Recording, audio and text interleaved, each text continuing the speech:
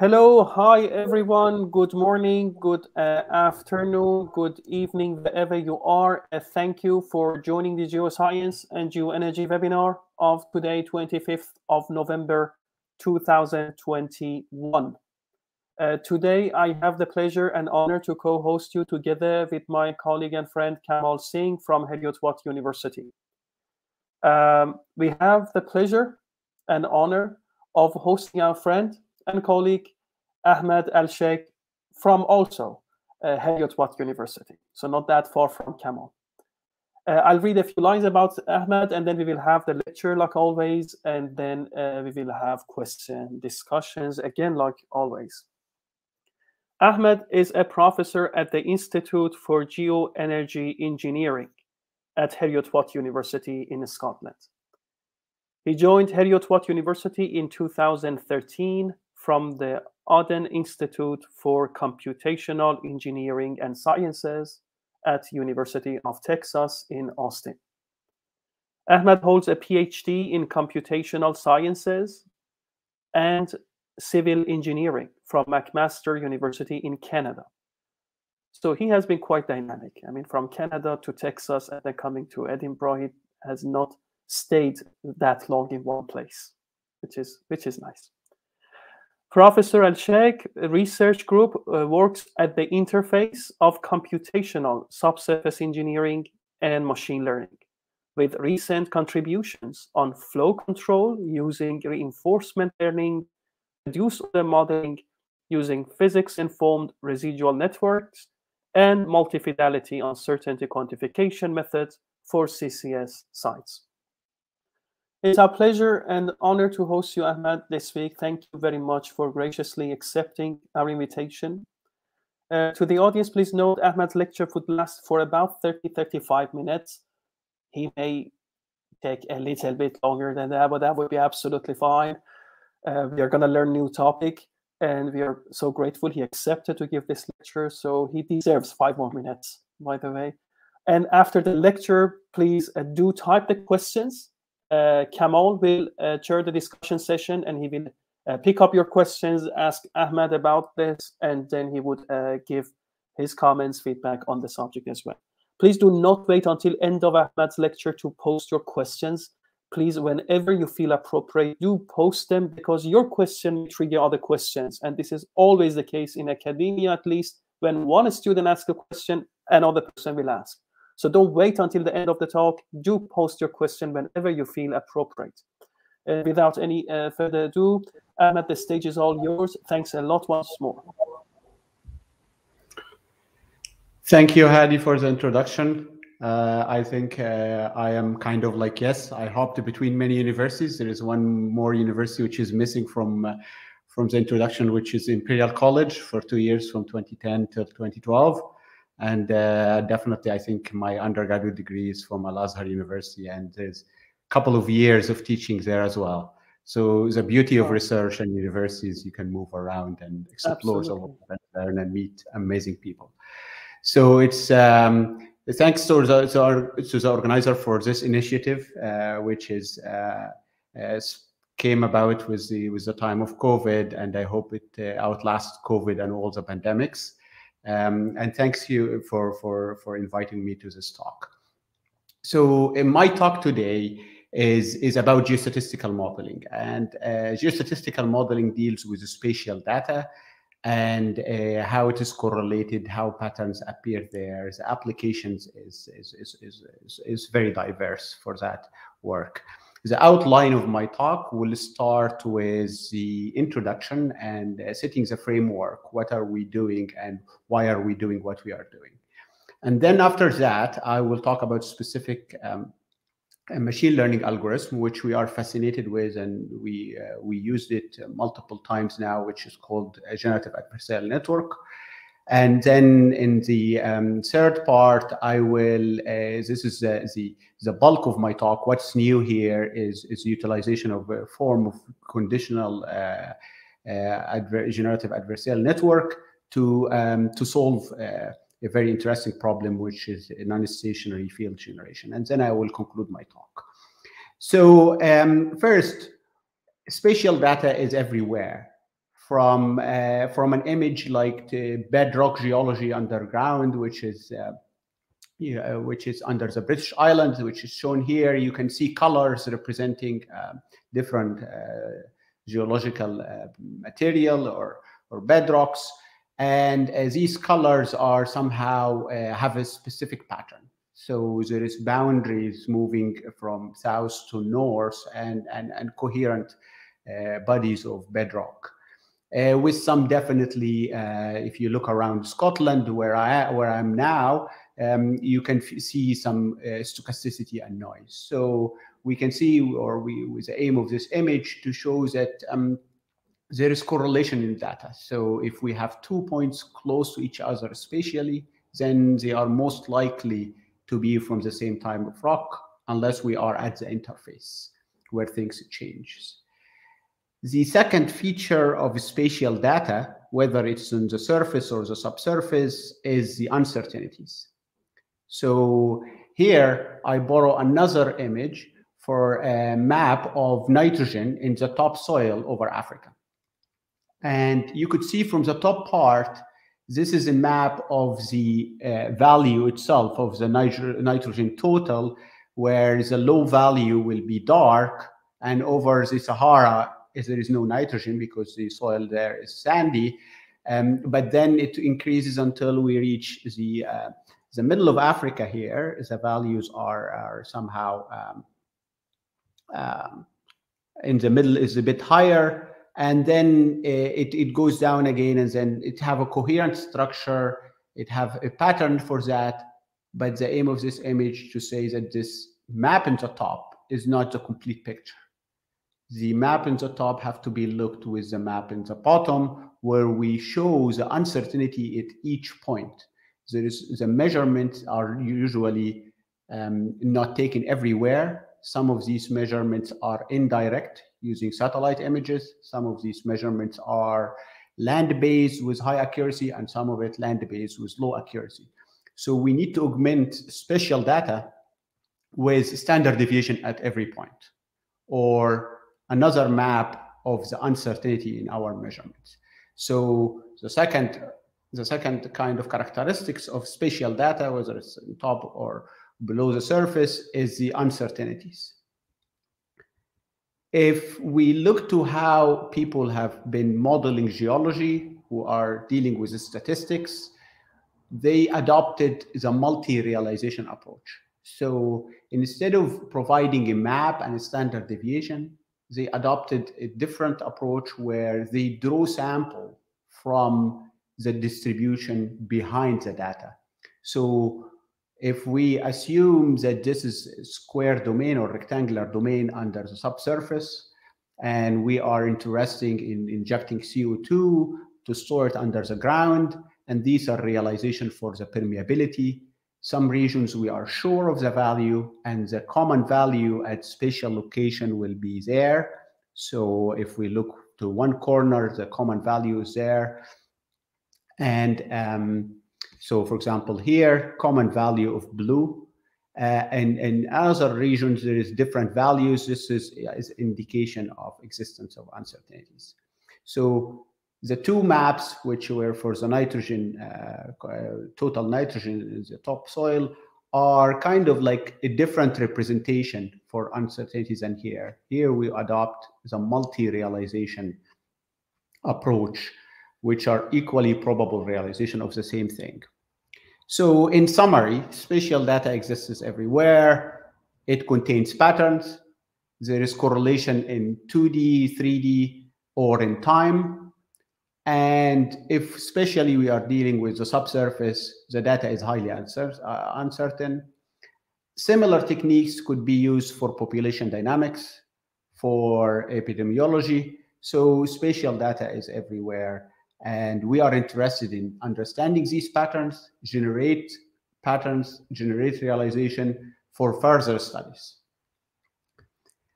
Two more important concepts when we deal with the especially geostatistical data, spatial data, but it's in the subsurface, is relying on analogs.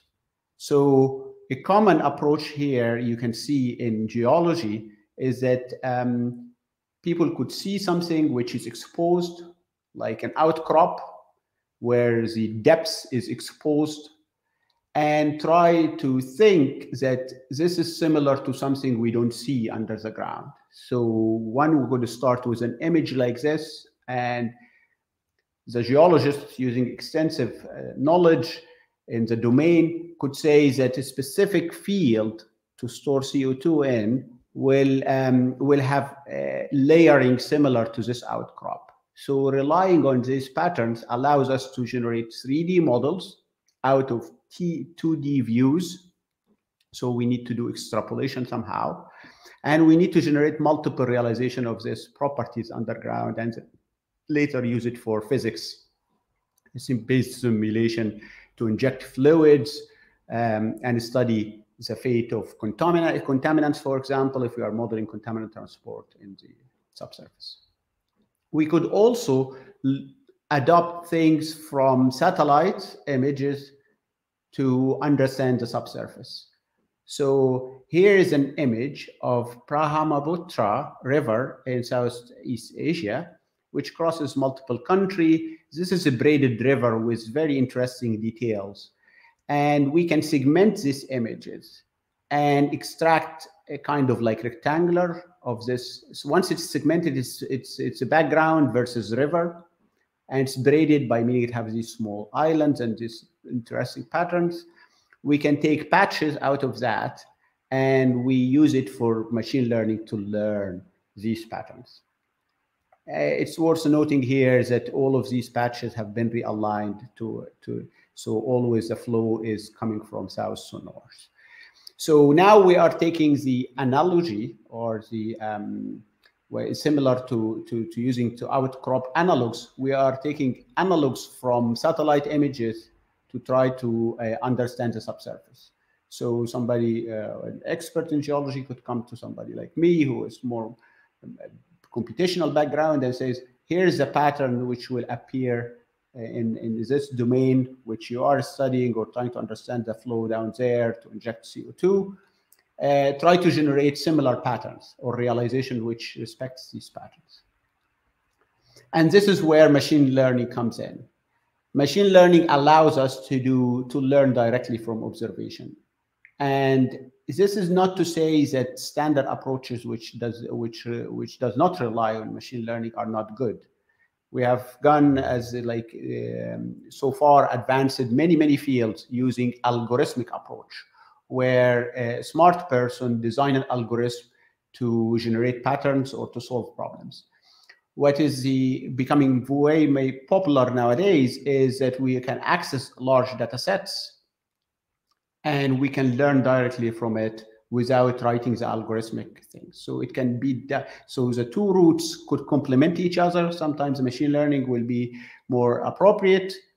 Some people postulate that the future is all machine learning. We, you could agree with that or not, but it have a, a use in the middle of the mix. Here, as a part of what I will be presenting today, we adopt a machine learning approach. This is not to say that algorithm exists and they perform somehow in a satisfactory manner uh, for many, many problems. But they have, as a machine learning, have some advantages, and we will highlight these advantages. So an algorithm which is famously used in geostatistics to generate patterns, simplified patterns, is the SNESIM algorithm. So as we talk about machine learning, we are trying to learn patterns from images. And this is a problem of learning without classification. So you could, the, the, simplest form of machine learning is a regression. You have an x-axis and y-axis, and you want to fit a line. This is a machine learning model. But we need to have the y values. Another class of machine learning algorithms is uh, what's called clustering algorithm. Just plots your data and it is grouped into groups generative adversarial network is somehow similar to unsupervised learning, but it is more than that. So we don't need to uh, to have a pair of xi and yi, and um, and and then we have a set of input and output to, to map that. We only have sets of xi's. But we are able as well to generate additional data using the patterns. And this is where the interesting um, design of these algorithms comes in. So now the, oh, the, I think I have two uh, slides with mathematics. This was one of them. And the most important part I want to, to highlight is this part. And this equation here, I want to simplify it or give an example, which is uh, to, to for, for, for, for general audience. So let's assume that we are dealing with a population of male from uh, Scotland, and we can get the average height of a male is 175 um, centimeter with a specific standard deviation. Using the properties of the population, by meaning mean and standard deviation, we can randomly sample from that population heights. So the y will be, this y will be a sample out of the height. And the g is a function which allows me to sample from it. So I usually will draw a random number from zero mean and standard deviation, which is z, and then, then add the mean and scale it and then I get a realization from um, from the population. So I will probably get 180. I will get one sample every million times 190 or 195, or one sample which is very short. So this process is, is the process of generation of, of samples from a distribution. Usually we feed it what's called Z, which is a, a standard normal variable. If we want to generate images so y will be the image from the geological pattern. We have to, to obtain this complicated g function, which is a nonlinear complicated function, where we feed it some noise to generate realization from it. And then we should be able to judge if this y is a valid sample or not. So this is, I hope, is, is the most simplified way to what is a generator. And as we are dealing with neural network, we abstract complex nonlinear functions like the G with um, a big convolutional neural network. And convolutional neural networks invented back in the 90s were popularized and used for computer vision applications. The common use for convolutional neural networks that we feed it an image and we get a class. So an image, and we say it is one of the thousand, hundred classes here, dog, cat, plane, table. For generation, it is reversed. So we feed the noise, we multiply the noise here in the first layer will be this X multiplied by a big weight matrix. We need to find that. It have some properties of sparsity and shared weight, weights over all over. So the number of free degrees of freedoms are small, but still it's a lot of weight. And this is a bias vector. And then we apply simple nonlinearity function and we keep composition of that inside of that. So this is, is a passing of data from layer one to layer two. And we adjust the weights that at the end we end up with an image which have three channels RBG, or if it's a binary channel, it will be one, and of size 64 by 64 if we are generating images of 64 by 64 pixels. The question is, how do we find these big weights which controls the, the transformation of data from random noise to an image which we call geologically plausible image? This is a very hard problem. And we don't solve it in a supervised way. We don't have a specific vector known for specific image to pair them together and, and use back propagation to learn that. What we know a user can do is that we can say, let's randomly select weights, randomly select a, an input noise vector, generate an image. Does it look like a geology or not? Does then we repeat the, the, the, the, the question again and again. And one in, in a trillion, we will hit the jackpot by meaning there will be um, there will be uh, a, we will select the weights uh, to, to, which are correct weights and and when we feed multiple realization for z we get the um, we get the images which are from the geology We definitely we cannot do that. We will replace the human judge by looking at the image and saying it is uh, geologically plausible or realization from the same distribution as the geological images to another neural network. And that neural network will be another big convolutional neural network where we feed it an image and through a system of linear transformations, which is multiplied by another weight matrix, big weight matrix with sparsity pattern with weight repetition uh, to, to, to be convolutional and specific bias vectors. We need to find the weights of that. We get at the end true or false. So we feed the geological image and we can get true or false by meaning is it a good geological image or bad geological image. So this is another neural network. We need to find the weights for it. And GANs is the algorithm which is somehow um, can find the weights of the both networks together. And this is the invention of, uh, of Ian Goodfellow. Is a, the, the idea itself probably is, is older than that, but he, in 2014, really developed the algorithm to be um, usable and programmed it.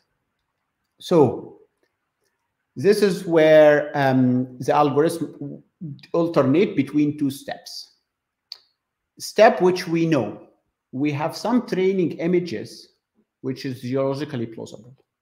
We have initialized generator, which probably is generating images of noise. So this is what we start with. And we have initialized discriminator, which can tell, which is the aim of it to, to know is it, are we, uh, is this an image noise, noise image or geology, which as well is not trained. The first phase is to select some images which are from the geology, from my, my training data, fix the weight here, generate some noisy images, and train this discriminator a bit. And I call it training a bit, and I will explain it why.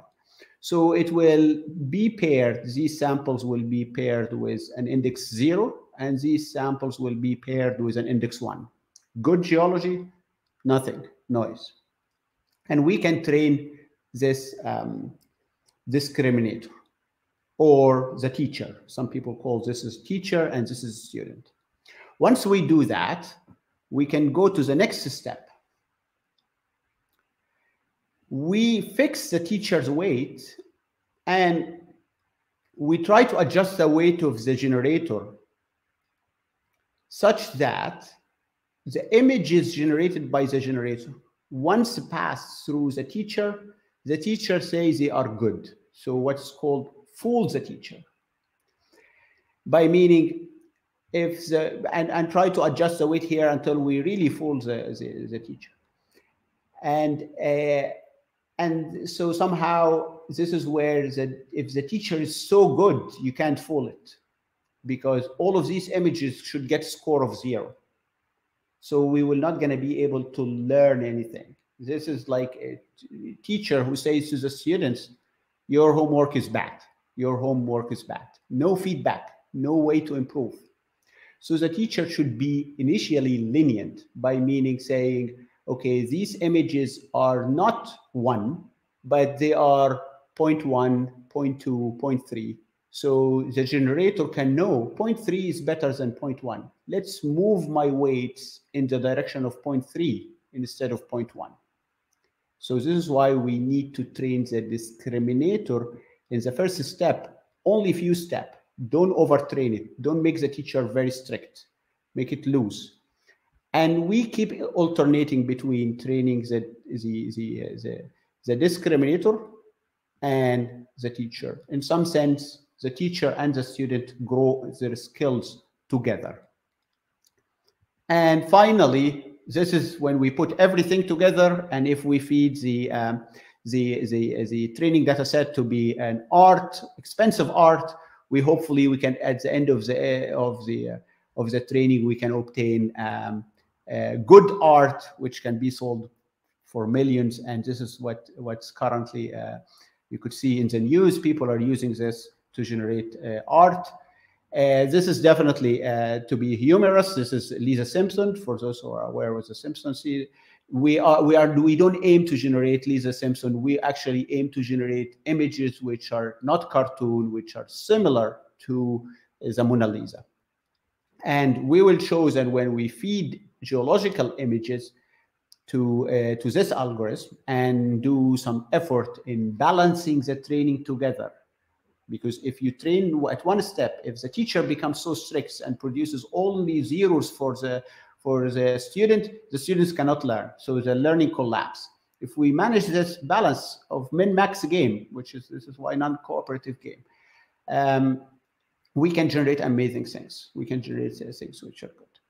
So um, definitely, uh, for those interested in the al original algorithm, the main reference is Ian Goodfellow's paper in 20 with Yoshua Bengio. These are two very famous names in, in the field of, of machine learning. Yoshua Bengio, I think, is Facebook, uh, NYU originally, and Ian Goodfellow, I, uh, I think he's, uh, I think he's now Tesla, uh, but maybe I'm wrong.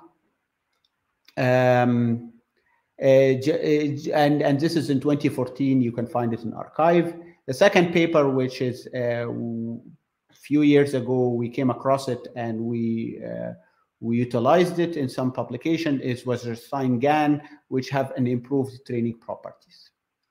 And this is when we come to early work on GANs for geostatistical modeling.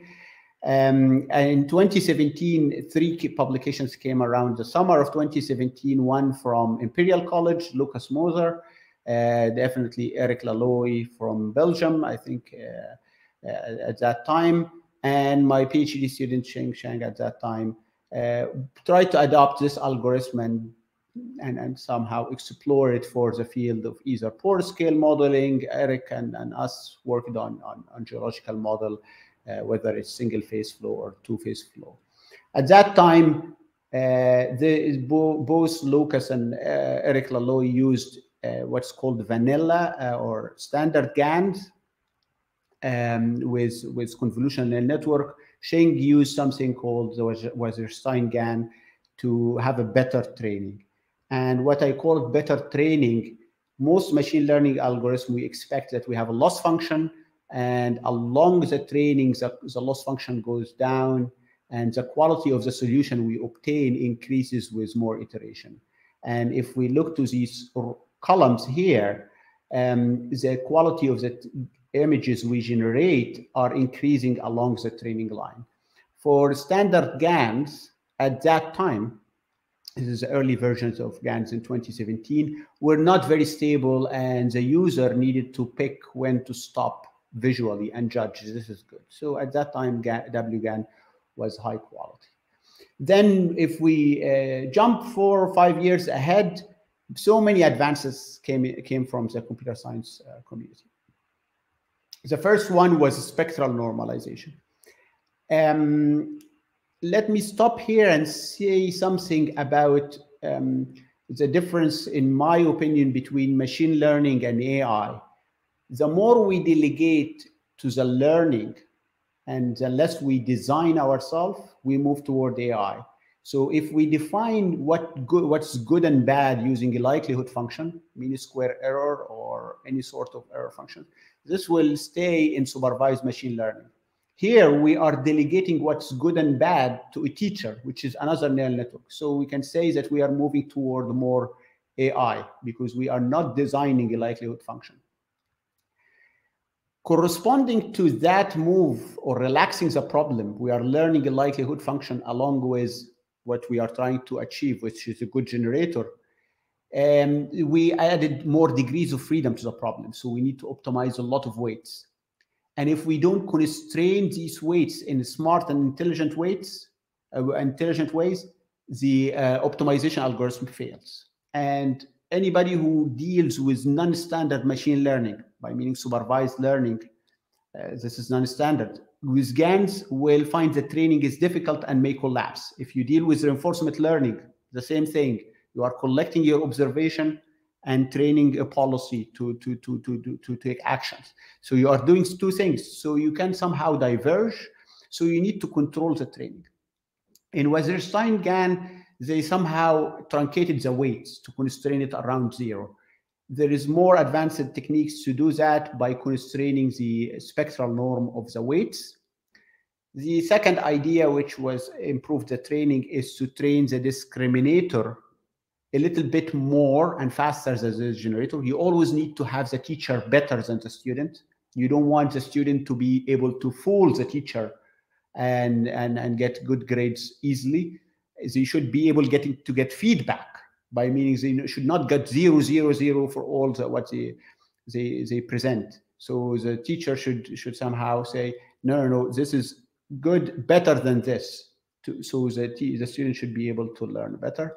And then uh, self-attention GAN is, is, is what's called self-attention module, which looks to a distant part of, of the image and account for that, the correlation between distant parts of the image in the decision. Uh, building on uh, on self-attention GAN, uh, a group I think from Google was I think the lead author was from Edinburgh University developed a BigGAN. It was a big thing and a very big model to train on TPUs uh, for, for I think this was at that time was was massive model. People were measuring the consumption in terms of of years of electricity, like equivalent to home heating for a year. And then I think um, StyleGAN came about from from NVIDIA, and they improved on it. So a lot of improvement have happened. Training GANs is way easier now than early on, and but consumes a lot of computational power adaptations appeared. People were uh, like uh, publishing, like generating artificial data for geological model or semi-real data and trying to publish these uh, use of these algorithms to do the geology. Now, what is uh, what is my group uh, was doing in this in that time? So um, uh, this is the two questions we are currently trying to address, and we think that we have obtained solutions or good solution for that uh, for these two questions. The first question is, can we train GANs using limited data? And there is a good reason for that. And the second question, can we generate non-stationary field? And I am assuming that non-stationary fields is not clear now. It will come about in few slides. They are intertwined. So if we solve the first, we can solve the second. And we might say that we tried the second and then we, we, we simplified the problem to the first uh, research is nonlinear, but the presentation now is, is linear to be easy. So this is where conditional GANs comes in. Conditional GAN was developed again in computer science. We are on the receiving sign, uh, side of, of, of, of, the algorithmic development from computer science. They are moving way, way faster than anybody could imagine. Um, in computer science, they were trying to generate images of dogs and cats and, and horses and tables. And they discovered that if they feed the generators a type of the image they want, in addition to the noise vector, and similarly feed the discriminators the type of the image along with the image, they can somehow constrain the learning a bit and produce higher quality images of dogs, higher quality images of cats. In the geology, if we look to very idealized geometrical-like structures of, uh, of, of, of channels in the background, we could say that the condition be the proportions. So 25% of the pixels are, are, are rivers or channels and 75% are the, are the background strata. And we can have the condition of 30% or 35% this is what we call limited training data. We don't have samples for all possible um, proportions. So we collected a thousand sample for this, a thousand sample for this, and a thousand sample. And we asked ourselves, can we generate for the missing proportions? Or can we generate for extrapolated proportions, so 0.2? And if we can succeed in doing that reliably, train again to do that, we can move forward to one step forward, which is we do uh, more amazing things. And we actually succeeded to do that, but with adaptation of the standard algorithms. The standard algorithm doesn't have a mix between cat and dog. There is some nothing in between. Here we are using something which is continuous, proportion, it is continuous. So we needed to, to modify the conditional GANs a bit to do that. So the red boxes here are what we call seen samples. So, and these are artificial samples, by the way. These are, these are samples generated by our GANs for a fixed random vector, and we change the condition along this line. These will be what we call seen conditions, 0.25, 0.3, 0.35 seen conditions, but in between these are unseen. And we can see that GANs are way uh, better than it was in 2017. Initially, when we tried to adopt a conditional GAN, these samples in between would come when we input 0.6, we would get samples of 0.25. And when we input uh, 0.28, we get samples from 0.3. GANs was memorizing so much and learning a little. So all the trained samples could be good from 0.3 or good from 0.25 proportions or good from 0.35. We were not able to interpolate between. We successfully, through a set of uh, tricks, managed to, to, to, to, to, to, train GAN to be good interpolator. And when we try to assess this using standard deviation of the samples, so we set, we, we decided to generate a couple thousand samples where the condition is 0.25, and we got the mean of all the samples, we found that it is 0.25. Definitely there is small errors. 0.3, it is 0.3, 0.35 and 0.35. And these are what's the seen conditions. The unseen conditions are in between obviously the errors will be slightly larger. Why? Because interpolation is not, we cannot have a perfect interpolation. It is like a Bayesian regression or Gaussian process regression. The more you, um, you move from your training data, the errors gets larger, the uncertainty gets larger. We utilize specific set of tricks um, which can be summarized in three um, in three points. Obviously, this needs to be um, gone through the real paper, which which which is now uh, almost in final review for computers and geoscience, and we will post it in uh, on arXiv maybe next week. There is two flavor of GANs, conditional GANs. One is called conditional batch normalization, and the second one is auxiliary cl cl classifier uh, GANs for those who are aware, we used conditional batch normalization. We started again by auxiliary classifier because it's easier conceptually, but we obtained better results with conditional batch normalization. We needed to sample the unseen conditions. So we needed while training to generate samples, which is artificial samples at the unseen conditions so the generator can improve these samples. We modified the standard conditional batch normalization by uh, constraining uh, two parameters. This is where we push the data at the intermediate layer to be centered around zero. This is what's batch normalization, and to have a standard deviation of one, because because because this is is, is a neural network, deep neural network suffers from what's called a distributional shift. The data through when it evolves through the uh, neural network, it shifts but the nonlinearity functions, the standard nonlinearity functions like tanh function or ReLU functions are always split the data around zero. So we this is the idea of batch normalization is to push it back. And conditional batch normalization assumes that the pushing back, the amount of pushback to the, will depend on the condition.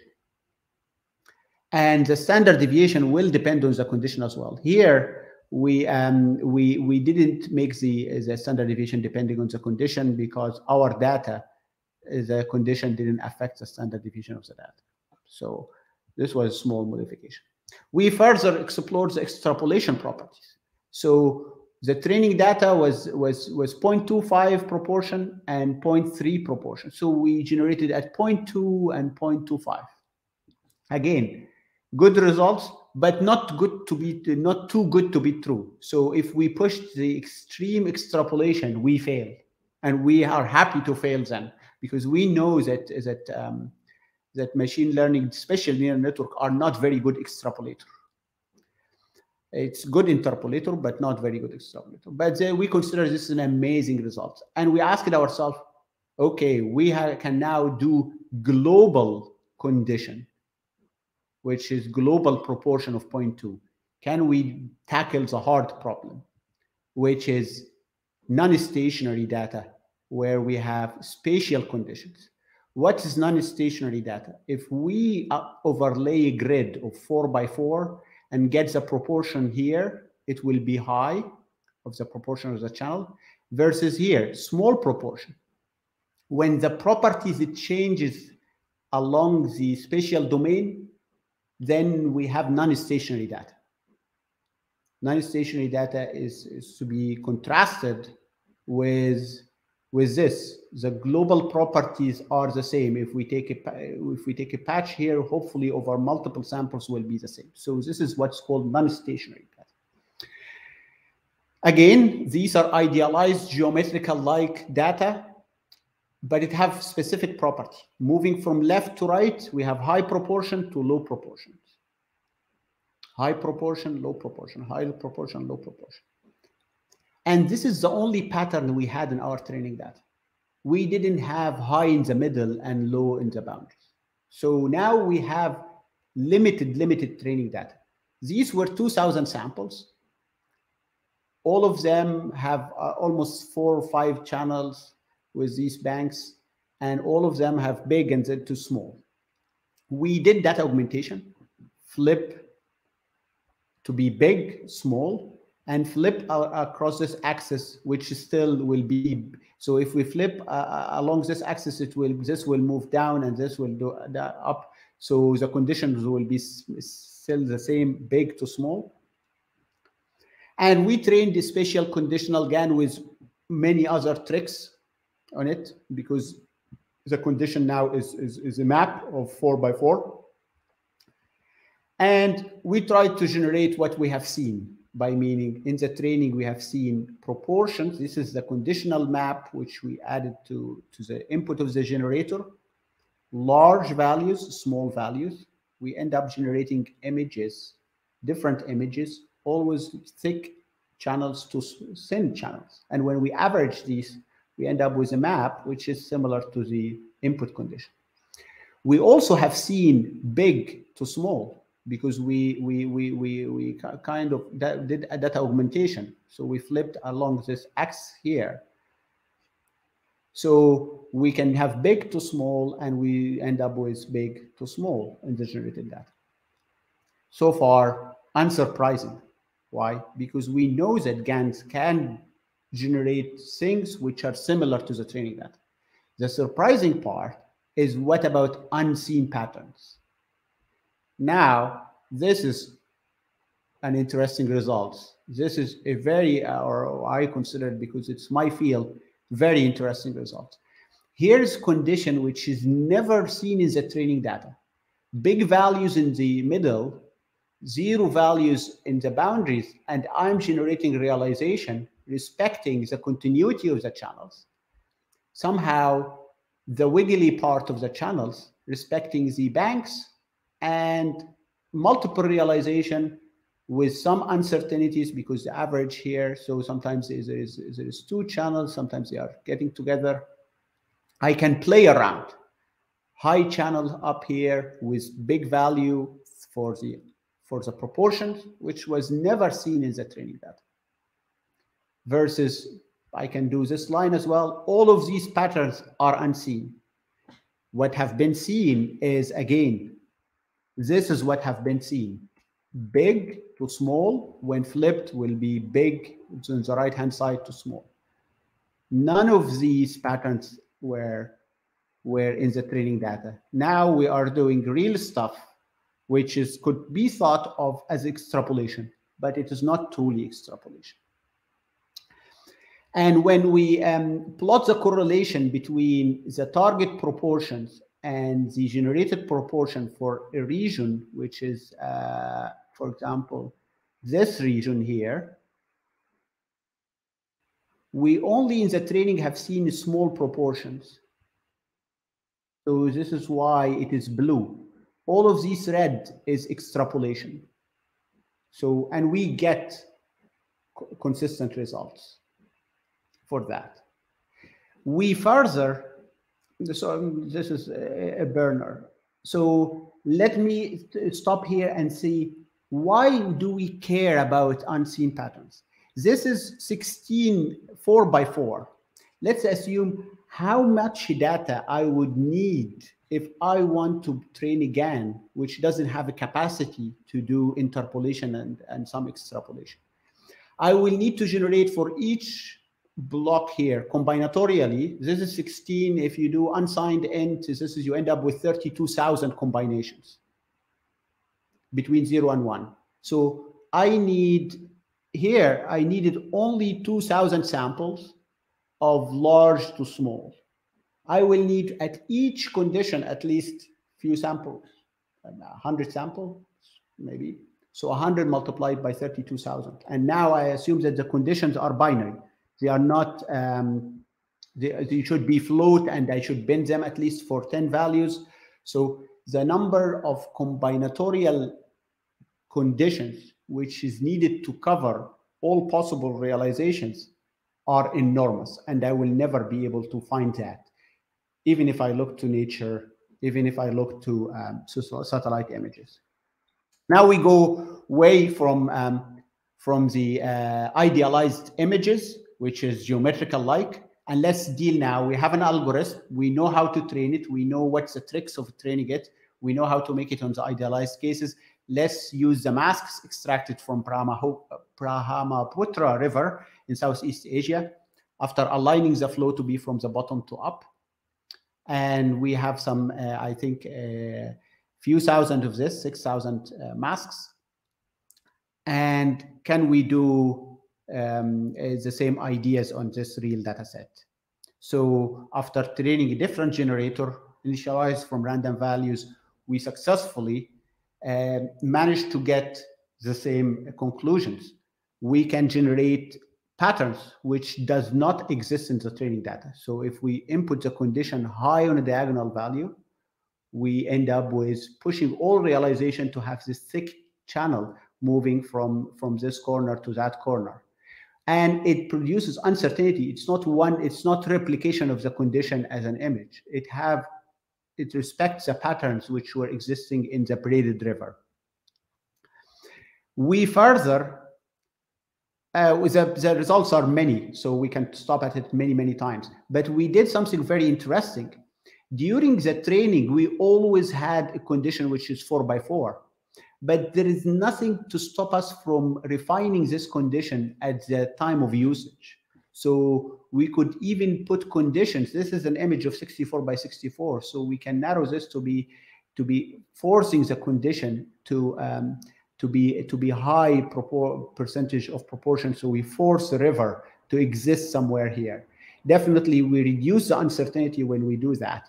But we can actually use this conditional GAN to to to introduce maybe point conditions if you assume that this is a subsurface field and we are injecting CO2 and then we dig the well and we know that this is a, um, a river point, then we can force all the realization to respect that. Um, so about two to three minutes, if you could. Yeah. Oh, fantastic. Yeah. so, what uh, what did we conclude? Conditional GANs are amazing. Allows us to solve a non-stationary data generation problem we had to do our homework. We needed to start with understanding one condition. Can we do interpolation? Can we do extrapolation? And then we can only, when we succeed in doing that, we are able to do spatial conditions and address the non-stationary data, um, data generation.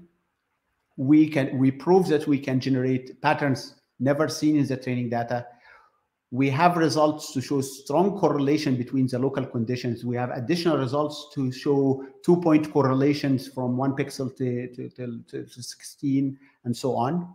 Our aim next is to scale to larger models. So instead of 100 by 100 pixels, we want to move to 1,000 by 1,000, hopefully more. And we aim definitely for three-dimensional fields later on where the combinatorial conditions will even grow larger if we are dealing with four by four and then we add one more four, then this 64 is a complexity of the training data needed to train vanilla uh, GANs is, is grows more. And now I would like definitely to conclude by thanking people and acknowledging funding. People, it's been an, a, a, very interesting, uh, like, and rewarding uh, um, journey to, to, to, to, to, to work with Shing from, from his PhD, who is graduated in 2018, I hope. So I have, my memory is good. And he's now at Oxford Big Data Institute. He did the early work on GANs. There was your sign GAN. Now it's my pleasure to supervise Al Hassan, who's uh, just finished his second year PhD uh, at Heriot Watt and produced a work on conditional GAN, both the single condition and, and, and spatial conditions. Funding is important to do uh, expensive research. So funding for Shing Chan um, came from scholarship from Heriot Watt, so I acknowledge that. The funding of project of Al Hassan comes from Total Energy, so the funding and support is, is highly acknowledged. And thank you all. Thank you very much, Ahmed, for this extremely informative, comprehensive uh, uh, talk. Uh, we see already plenty questions posted, so uh, we have little time left. And uh, so I'd like to, without any uh, further ado, I want to give Kamal the floor so to ask all the questions we can and benefit from your presence here with us. Kamal, please. Thank you, Hadi, and thank you, Ahmed, for this fantastic talk. You know, I, I like, I really enjoyed to give a history of GAN and then many different uh, examples. And because I don't have background in it, this, and then it really, I learned a lot of from this talk. So we got many questions. I've got some question, but I'll skip it. Maybe you can ask in your office later on, maybe next week. So if we'll you ask, then I will ask to Kamal. So let's just first give. so let's start with the first question with the Johan, uh, who I think you touched upon the on the questions for the, the answer.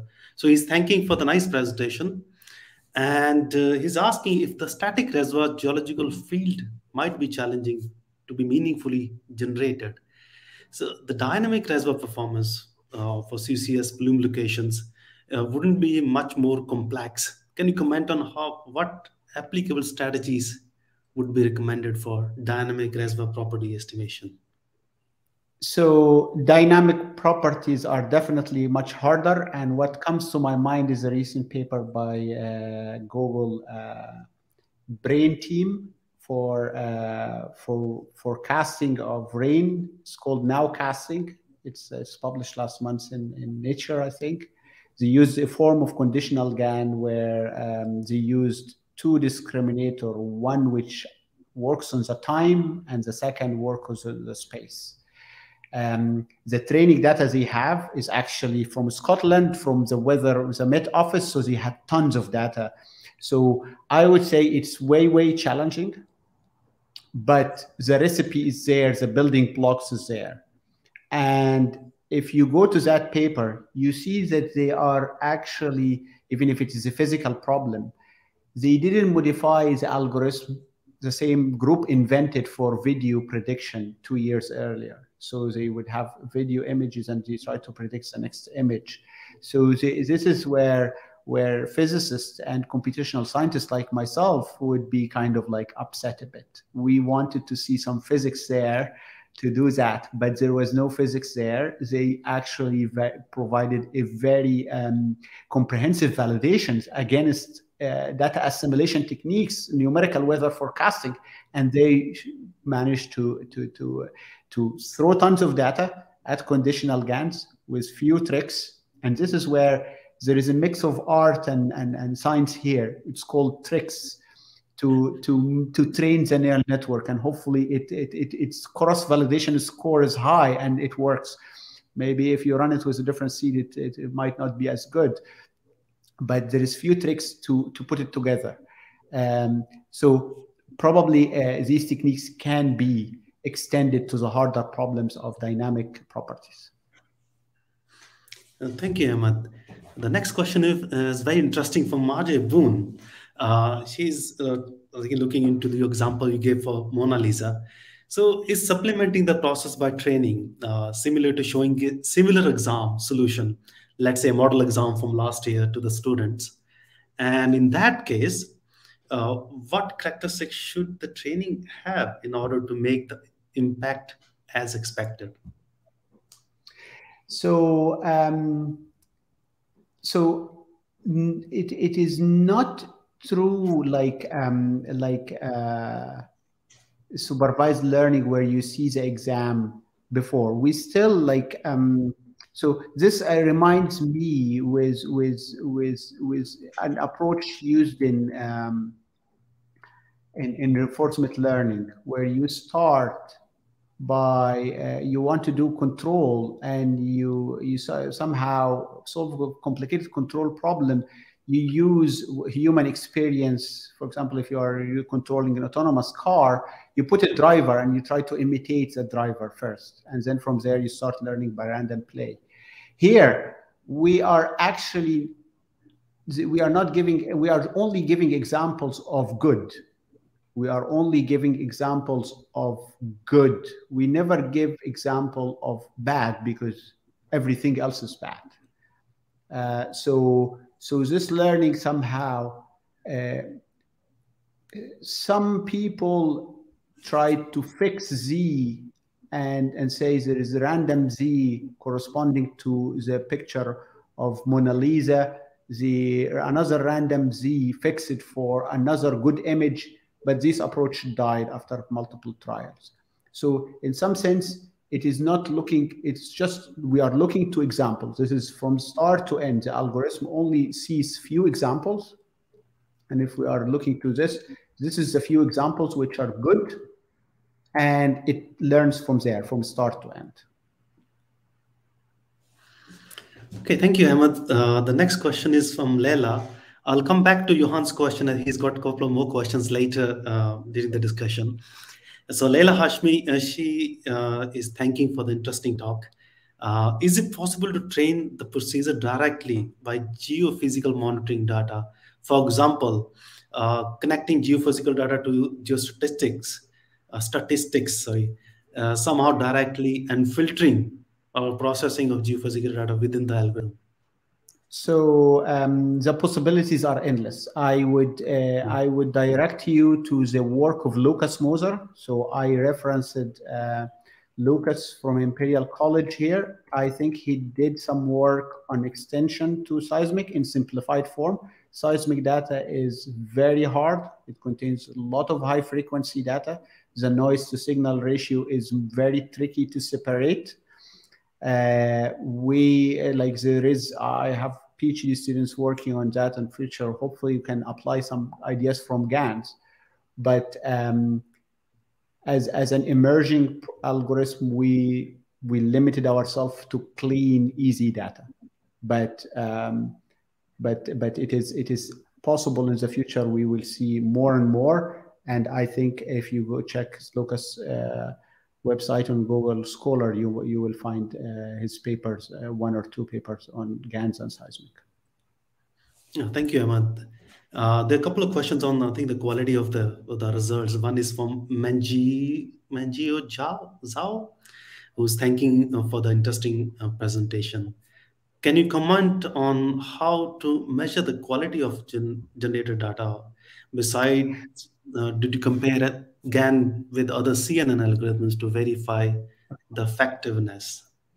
So, so there's two hidden questions here. First, how do we we we we we, we quantify the data?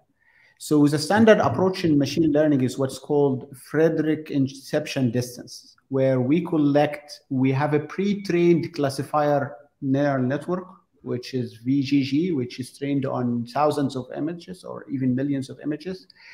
And when we pass patches of images through that, we get activations or, or intermediate results. We get the statistics of these intermediate values in the middle, and we hope that we respect these statistics.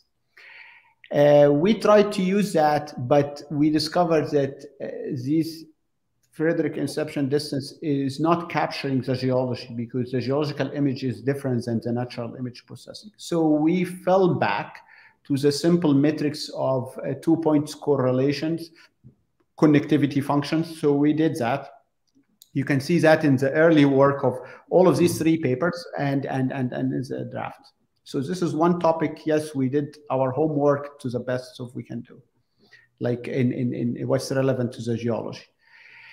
In, in terms of comparison to CNN, convolutional neural network as a supervised learning algorithm will always be cheaper to train in a supervised way because the, the propagation of gradient is from A to Z. You pass through it. It is well, well, well constrained the problem.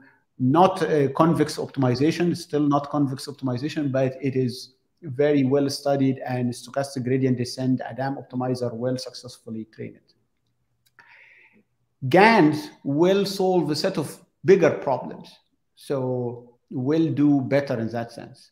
So one could say if we are just doing enhancing an image, and and and and, and to be honest, enhancing an image could be related to conditional generation, by meaning conditional generation is moving from from this to this, could be used uh, using uh, an autoencoder. So we map this to this from, for, from 4 by 4 to 64 by 64, but we will lack the stochasticity. So people could use a variational autoencoder to do that. And there is some work there. Based on our experience, GAN is, is able to outperform that much, that way, way higher quality. And uh, we are yet to see the, uh, the, the, the supervised learning approaches, even with some stochasticity like variational autoencoder, to achieve higher quality image. So this is an alternative approach and faster to train. We, we, we, there, is, there is no free lunch there. GANs to achieve higher results is harder to train and very slow. Come on, the time is up. Please, can you take I wanted to say, max? Yes, there are many questions. Please go ahead. So, do you want to go ahead or? or yes, yes, please take. Uh, you can Okay. take uh, uh, Olwine, for example, because we have not featured him. Sorry, say it again. Oh yes, So this is what I, my, my next question was. Actually, it's very related to the previous one. So, is the GAN-based approach uh, better suited than conventional geostatistics approach, for especially for generating non-stationary uh, geological realizations? So um, this depends on the use. So if if MPS, MPS's algorithms, there is commercial libraries or or, or, or already um, uh, existing uh, libraries which have been tested and evaluated over, over 10 years. We can't we can't uh, understate this effort. This effort have resulted in very high quality results. So if we are about to generate only a realization of non-stationary fields, MPS probably will generate equally good, if not better results.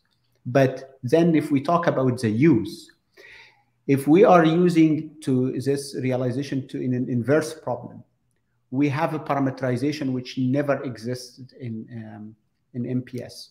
We have an input which is 16 parameters, and then another input which is um, 128 parameters. All of them are conditioned uh, as, as normal variables, except this is this is uniformly distributed, and you can apply on that ensemble smoother if you are doing inverse problems, or you can um, you can invert it with. Uh, you can chain it to your simulator if your simulator can produce a joint you can you can solve it with a gradient base because the neural network have have a gradient. With mps you you rarely will have a, the gradient of the algorithm so for example this is this is the mps you cannot get the gradient of the algorithm you need to recode it maybe in PyTorch and remove all of this.